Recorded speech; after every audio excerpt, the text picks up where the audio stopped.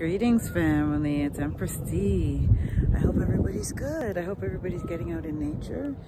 And I hope everybody is um, getting to know themselves and working on themselves every day. Um, I just wanted to talk about the whole Will Smith thing again. You know, I spent the last couple days, you can't avoid it almost. it's everywhere.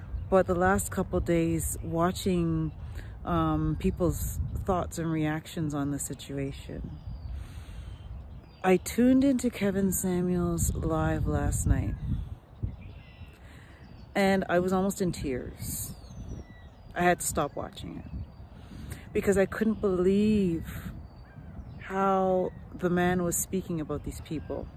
Now I get it. I know we can make we can take a lot of clues from things that have happened that we know about, right? But it's so dangerous to to diagnose people and to to diagnose people and to label people on on such a big stage like that when you don't really know. Man, um, Kevin Samuels was calling Jada. Well, he said he's not a clinician and he's he's not diagnosing her, but what, from what he sees, she exhibits um, narcissistic tendencies. And then also um,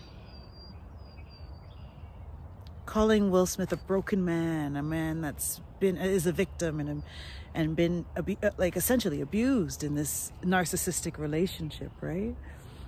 You know what? He may, very well might be right, right? But what if he's not? You know, and oh, the things that he's saying about this couple. You know what? I, I, I really should not talk on it. I don't really pay attention to these people I really don't know who and how and what they are. You know, there's so much information out there that I have no clue about because I don't pay attention, right? What I saw was a man standing up to somebody disrespecting his wife, you know? Um, I applaud that because I think that that's what our men are supposed to do. They're supposed to provide and protect, right? Wrong to hit another man, you know, and you know, it's wrong. It, it really was not called for. He should have just used his words, right? You know, and I, I, I, I have to commend Chris Rock for how he handled it. You know, he handled it like a G. You know, he said, bump this, I'm not stooping to your level, you know, and I have to big him up for that. And also, it's not, it, he took a L, you know, it's embarrassing to take a slap like that, you know, so, man, what a difficult situation, you know? But for me, I think that Chris is cool, you know, he's got that embarrassment to get over. Um, but man, people are really going in hard on these people when they really don't even know, right? That's what worries me. You know, it's not a good situation. I, I, I, I don't hope that they're right, but God, you know, what I do hope is that that family is shielding themselves from media. You know, what I realize is the internet is a bunch of bullies, family. It's a bunch of bullies. You know, faceless, nameless bullies that can just stroke on keyboards or type on their phone, you know, to say whatever their heart's desire. Things that they would never say if they were face to face with that individual, right? So the internet is a scary place. This is what this whole Jada, Will, Chris Rock thing has taught me is that the internet is a scary, scary place.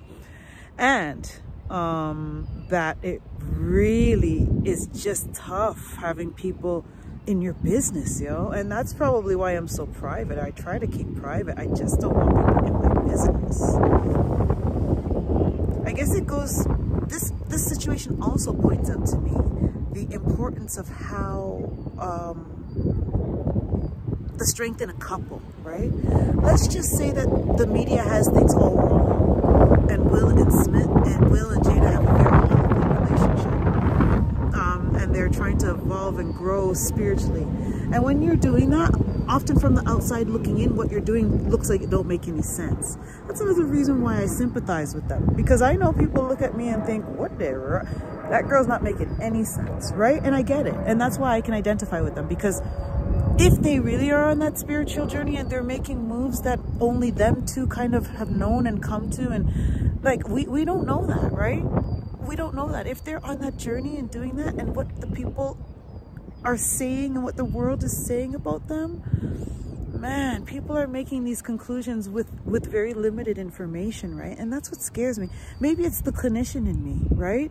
You kind of have to have more of an assessment before you make these definitive statements.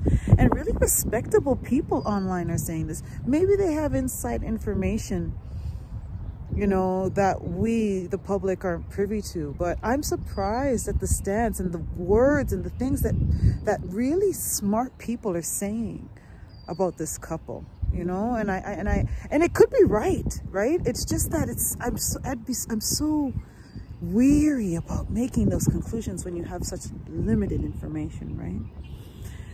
I, I send them positive, loving, and healing energy, yo, because it can't be easy to be them right now and anyone in their circle. And I also send out healing and loving energy to Chris Rock. You know, at the end of the day, you did nothing wrong, my friend. That joke really wasn't bad, you know, but we don't know what bad is, right? Bad, bad is relative. We don't know where her mind is at, right? I, I, I don't know. I don't know the woman. I don't know anything about the situation. Um, what I do know though is that he handled it like a G. And um, I'm sending him big up and, and healing and loving energy. Okay, family, I hope you're getting out in nature. I hope you guys are taking care of yourself. I hope you're leveling up. And thank you for taking the time to listen to this message. Okay, family, I love and I value each and every one of you. One love.